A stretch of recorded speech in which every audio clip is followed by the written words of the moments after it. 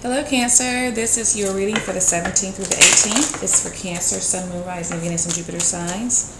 I pulled two um, cards for you guys. One is the Romance Angels, and one is um, the Angel Prayer card. And we're going to do Celtic Cross, okay?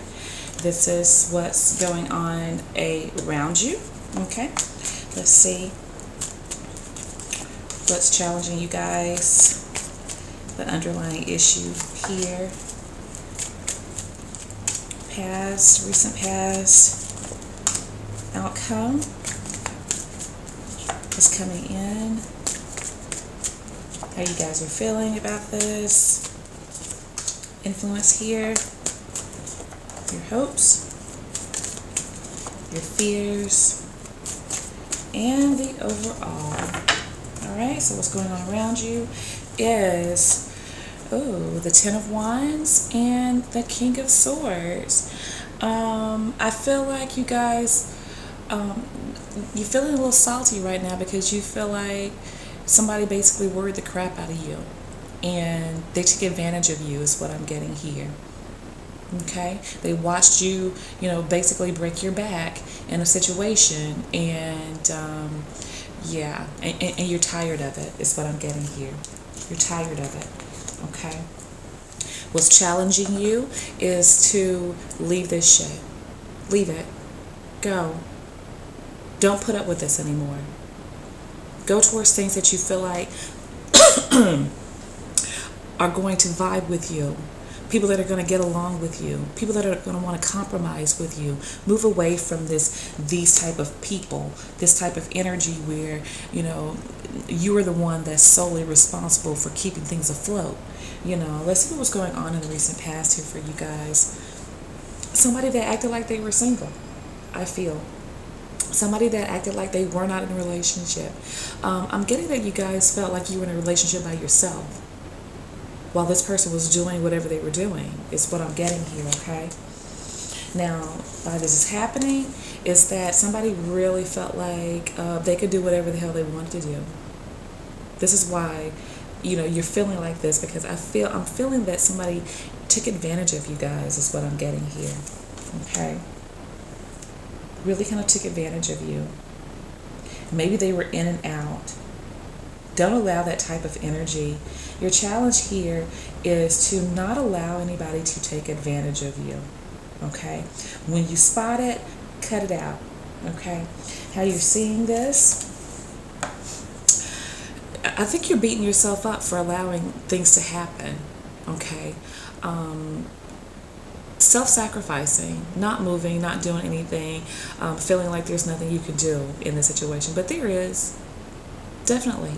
There is. And that's not allowing to happen, you know, people to take advantage of you, you guys. So don't beat yourself up here because we live and we learn, you know. Let's see. Hmm. You guys feel very attached to this person. And I think you, a lot of you guys are still with this individual, is what I'm getting here and you feel very attached to this person, very attracted to this person. Um, but I, I'm getting that a lot of you are kind of afraid to leave the situation only because you're used to this person. Um, and this person probably has made you feel like, you know, they're the shit. Um, maybe you can't do any better than them. You know, that sort of thing is what I'm getting here, okay? Capricorn energy there. What's coming in for you guys? Wow. Um, it's disappointment. It's heartache, okay? Disappointment. Hmm. So, you know, this is almost like a heads up for some of you guys, okay? So, if you are still with this person, um, and you know who you are, okay? If you've got somebody that, that makes you feel like they are they're not telling you outright that they're the shit or they're not telling you that you can't do any better than them but the way they make you feel is that you'll never find anyone like them or you'll never have a love like this or um, and you feel uneasy about them possibly like when they leave you know what they're actually doing. Sometimes you can't get in touch with them. Um, you know that sort of thing This is coming, guys. Okay? So be mindful of that. Um, so you don't have to actually see things to believe it, okay? Follow your intuition um, on this in this situation, whoever you are, because I feel that this person um, is possibly doing things, quite possibly. Your influence here is the Knight of Swords. Speak your truth. Speak your truth. Speak it now. Address these issues. Address what's hurting you. Address what they're doing. Um, if, if they're flaky in and out if you don't know if they really want to be committed to you or they want to be single um, ask. If they can't give you a clear answer you have your answer okay? Is i mean it's just like that. All right so your hopes here is to be able to this is you guys feel very attached to this person and I'm getting that a lot of you want this person to choose you, to choose to be there for you, to choose to love you, to be committed to you. Okay. Your fear is that you'll be hurt, that you'll be left out in the cold, basically, um, that you will not be happy, that this person will turn their back on you, that this person does not love you deep down inside, okay? feeling like this is a lost cause. You don't want to feel like this is a lost cause here. And the overall is worry. Is worry because I'm getting that you guys hold a lot of things in. And you're not really speaking um, about the depth of your hurt or what it is that you're feeling. What's going on here? I, I'm getting that you don't have clarity.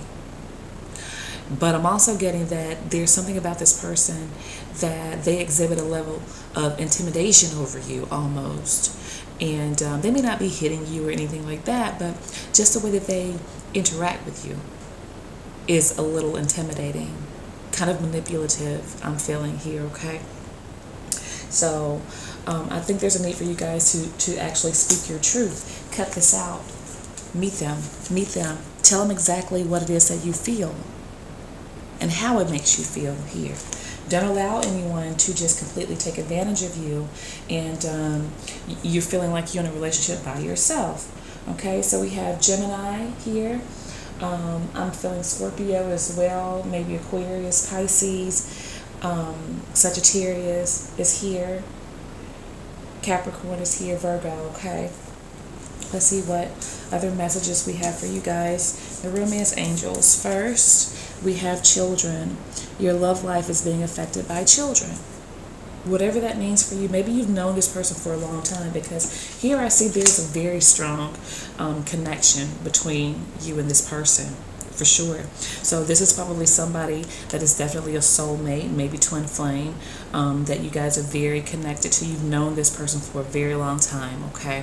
Whether in this lifetime or a previous one okay you guys may actually have children together and it's hard to kind of separate from this person um, hard to detach even though they come across as very detached kind of in and out flaky even though you already have this family with this person possibly okay? Let's see. Yeah synchronicity.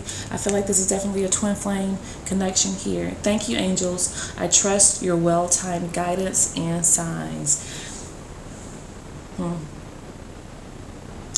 You know, if you guys have been seeing 555, that, that is very indicative of um, there's a major shift coming in this situation in your life. Okay? Don't be afraid of it. Go with the flow. Go with the flow. Go with the flow of the universe because what's happening is what's supposed to happen, what's meant to happen, and it's meant to happen for your higher good. It may not feel good while it's happening, okay? Because we see this is what's coming in. All right, guys? So that's what I have for you, and um, I will be speaking with you guys soon.